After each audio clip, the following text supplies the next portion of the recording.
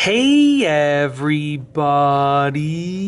I'm here today to show you and tell you how to make a paperclip phone stand. This will be an easy tutorial and also a full tutorial, so let's get right into the video.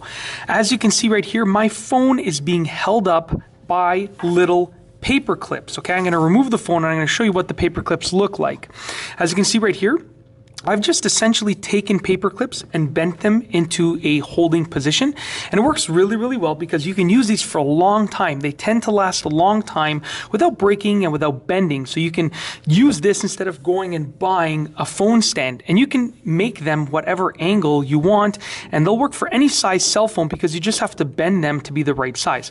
So as you can see, the, this one that I bent right here is a little bit better than the other one. But basically, it's very simple. I'll show you exactly how to bend them in the right way. You're going to take paper clip. Bigger ones work better, but this is an example because this is a pretty big phone and the small ones still work really well. And we're going to open it up. You have the inner portion and the outer portion. We're going to open it up just like this, okay? So you can see right here, we're going to open it up just like that. And now what we want to do is we want to do two specific things.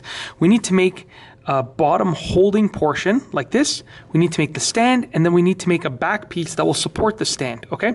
What I like to do is I like to use this outer portion that's a little bit bigger to be the bottom holding portion. Okay, so what I'm going to do right here is I'm going to go ahead and I'm going to uh, open it up like that and just sort of bend it upwards as you can see. So we now have this right here, and then we need to create the actual back part that's gonna hold it in place.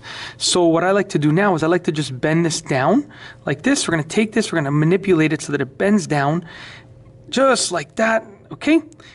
And then what I like to do is I like to just add a little bit of a, of a bend at the end of this to support this piece on the ground, just like that, okay? So as you can see right here, I've created this little stand, okay? And we can use this to support our cell phone. Okay, it's a little bit lower than those ones, but it will still work. And if you want to, you can raise it up. So let's say I want to raise it up.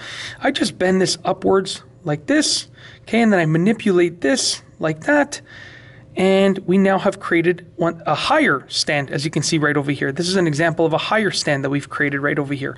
Okay, and it works really well. You just take your paper clips and you bend them to be in the position of almost like a cell phone stand.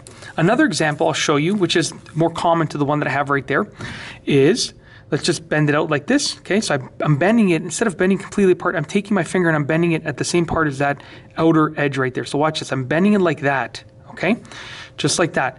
And now what we have is a similar thing to what I've created over there, where this piece can bend out and be this piece that supports the front. So this piece is the piece that supports the front right here. And this turns into a triangle at the back. So check this out. At the back, I open it up like that. I bend this down like this, and I now have support at the back. And obviously you're gonna have to bend it so that it, it is exactly perfect. But, you know, it takes some time and practice, but it will work. So as you can see right here, what I've created over here was basically something similar to what I had over there. Um, and I like to flare this out backwards just a little bit like that, and I end up getting something like this. And you can adjust the sizing, obviously. Um, that's basically what you're going to create to create your paperclip cell phone stand. You can have two of them, three, four, five, however many you need to support your cell phone. As you saw before, I just had two and it was supporting the cell phone perfectly. Um, and if you if it, if you're having trouble, if you're using smaller paper clips, you can use even three of them. Or if you have a large cell phone, you can use four. I mean, it all depends. But the good thing is that you know most of the time when people use paper clips, when they're done with them, they usually throw them out. And this is a perfect way to just reuse them. Um, and that's it. If you like this video, please be sure to give it a thumbs up. Let me know what you think down below as a comment. And of course, be sure to subscribe for more great videos just like this one. And that's all I have for you today. Thanks for watching.